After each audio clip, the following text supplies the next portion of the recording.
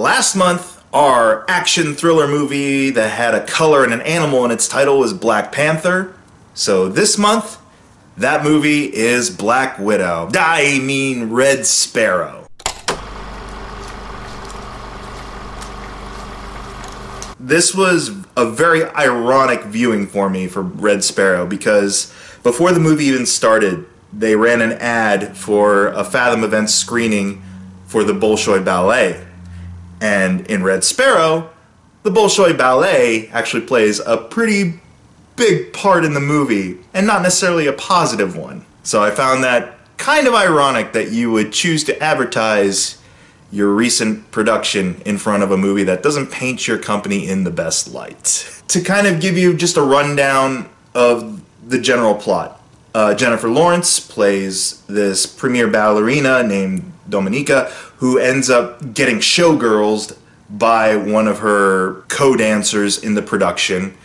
And she's basically kind of put out to pasture by the Bolshoi Ballet Company, and she's got this sickly mother who she has to take care of, and now that she no longer has a job with that company, her benefits are all dried up essentially, and then her uncle, who happens to work in Russian intelligence, kind of comes to the rescue by enlisting her in this Red Sparrow program which is essentially the Black Widow program from Marvel, taking young cadets and soldiers and disciplining them to become ultimate intelligence gatherers and uh, readers of people and uh, masters of seduction and espionage. She goes into the program, and then the next part of the movie deals with her trying to entice and gather information from this CIA operative played by Joel Edgerton who's in Russia to meet with his uh, mole, his contact within the Russian government. It's kind of like, does he know who she is? Does he, she know who he is?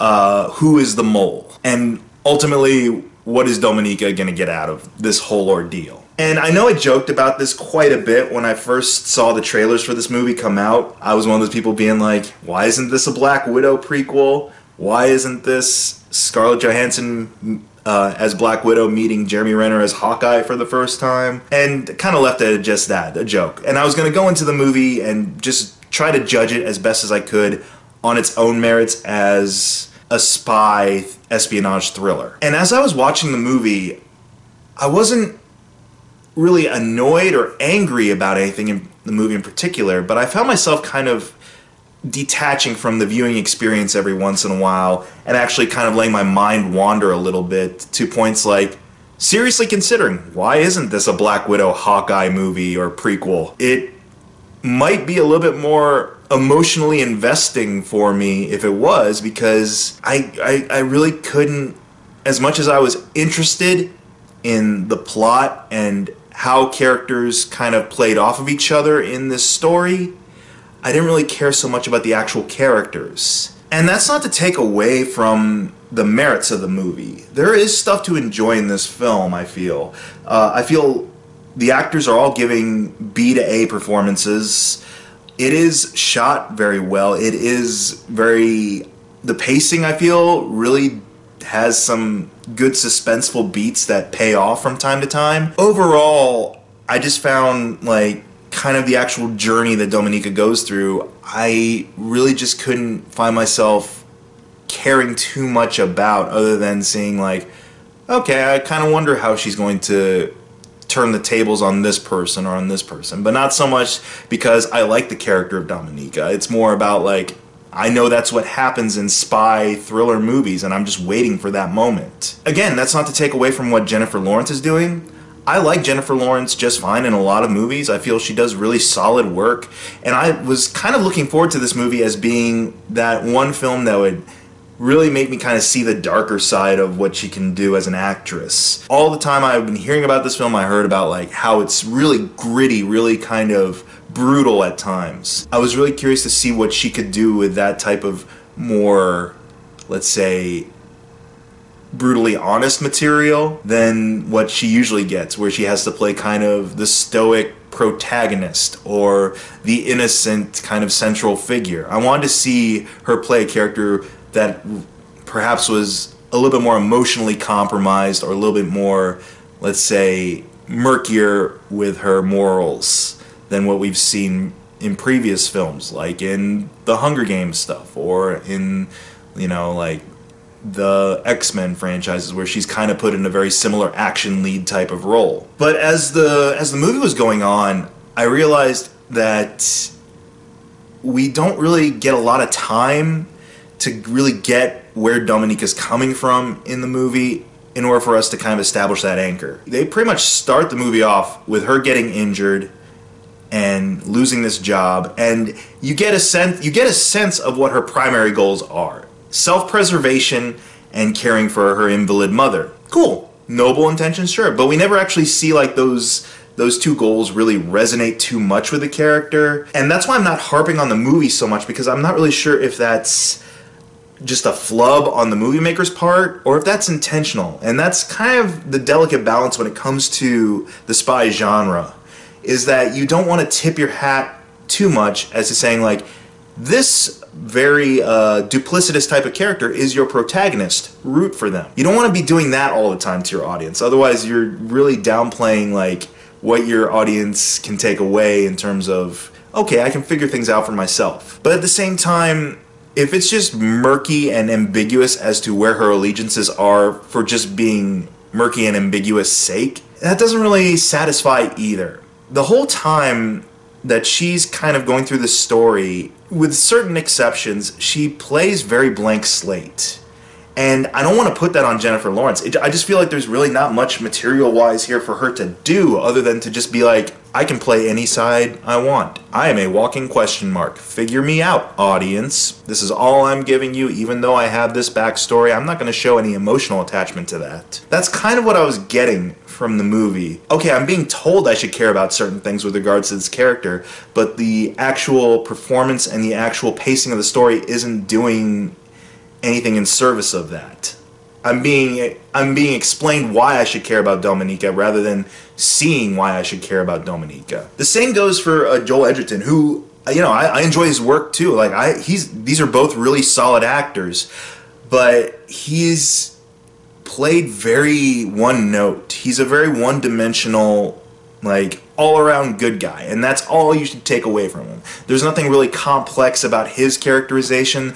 There's nothing really that leaves you guessing about what his intentions are throughout the story. He is the all around kind of like i'm the stand up good person that's gonna try to save this girl and that's it. That's why whenever they have scenes together where i think the intent is that they're supposed to be kind of milking each other for information, and you're not quite sure if she's being sincere with him or if he's being sincere with her or if it's just all a means to an end. Like, part of me was kind of thinking, like, you know what? I would love to see this between Scarlett Johansson's Black Widow and Jeremy Renner's Hawkeye. Because at least I have a frame of reference from where those characters are coming from. At least I have a sense of, all right, I can see, you know, Black Widow has had training to be duplicitous, has had training to kind of use her wiles to achieve her goals. And it'd be fun to see where that takes root from. There are some really good suspenseful moments placed throughout the film.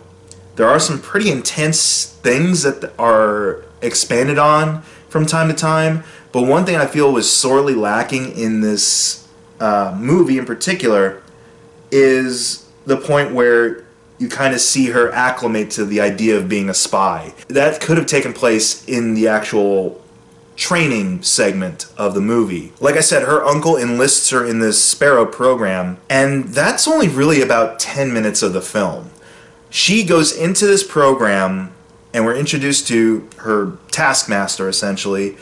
Uh, which was giving, which gives off shades from Age of Ultron and all the flashbacks that uh, Scarlett Johansson's Black Widow is having in Age of Ultron to her training. It felt like that, except expanded on for just a couple of minutes. We're, we really only see her in her training for about, like I said, 10 minutes. And we're really only explained, like, here's here are the depravities you're going to have to sink to in order to achieve your goals. And we're given glimpses of what they're going to have to do, but we're never actually shown, like, this is where these young cadets are taken and broken down to be the government's, you know, be the will of the government essentially, to be the enforcers of the government. you're never really given that much of an insight into psychologically what is going on with these cadets, what's going on with her in particular. There's there's a couple of moments she is almost raped in the shower by one of her uh, classmates, and then they bring it back around where she has to basically wrestle power, the power from the, the power dynamic between them uh, in front of the whole class, and she does it in a certain way. And I feel like that's the point where they're saying, like, okay, she is fully dedicated to the training of the Sparrow program, but at the same time, you haven't really spent a good degree of time to understand what that training is or to understand what effect it has on a person. It didn't enhance the appeal of the story for me so much. And like I said, I like the ideas that were taking place, but I didn't find it as captivating or as interesting as I could have if maybe I had a character like Natasha Romanoff who I have a sense of where she started. I have a sense of where she's been. Here's that point. I can kind of see that transformation take place and engage with that. I haven't read the book that this is based off of. It does the book itself go into maybe more details about Dominika's thought process when it comes to interacting with uh, Joel Edgerton's character, I believe his name, Nate, when it comes to interacting with the CIA, when it comes to interacting with her uncle or her mother? Does the book actually give a little bit more insight into what's going through her head at those particular moments? Because whether this movie intentionally meant to play those moments as very ambiguous on her part or not, um, I felt it, there was just something kind of missing from those scenes a little bit. And again, it was a it was that whatever aspect that I'm having a hard time kind of describing that kept me from engaging fully in the movie. Maybe it's just part of me has become so jaded with movie going experience because I see a lot of movies that I was able to kind of really like I said with Black Panther a couple of weeks ago, you you figure out the rhythm of certain genres of movies pretty quick. And for me, there wasn't really a lot of surprise in this film. Even when towards the end there is sort of a grand revelation of this is what the last 50% of the movie has been kind of leading up to. Even when that occurred, I I still wasn't that surprised. I was kind of like, okay, yeah, I kind of saw that coming. Like I said, the subplot of Joel Edgerton's character uh, trying to maintain the anonymity of his mole, uh, I figured out pretty early on who that mole was. When you're introduced to a supporting cast of some pretty recognizable faces, within about five to ten minutes, you'll be able to figure out, like, okay, this person clearly is the mole. I made that prediction pretty early after a scene with Dominika that this particular individual shared. I was able to kind of determine like I, I think I know where this particular character arc is going to end up, and it did. Yeah, maybe it's just part of my semi cynicism towards viewing movies these days, where I'm just you can just kind of figure out the formula for a certain genre. And with this one, as much as there was some cool stuff acting wise and visually, there was some interesting things taking place.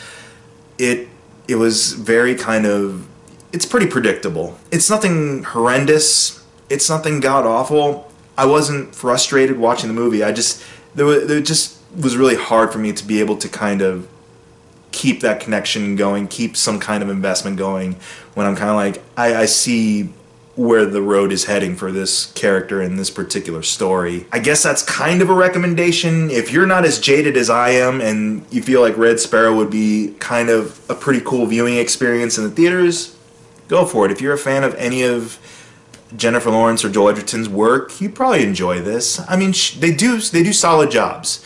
And again, I'm not holding anything against Jennifer Lawrence with regards to her characterization of this protagonist because I feel like she wasn't really given much material wise to do, intentionally or unintentionally.